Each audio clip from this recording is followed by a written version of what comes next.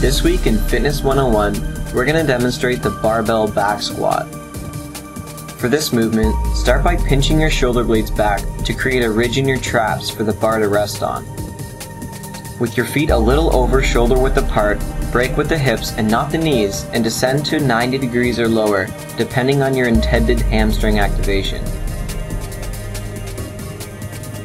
Maintain a proud chest as you ascend to the top and contract your glutes to complete the movement.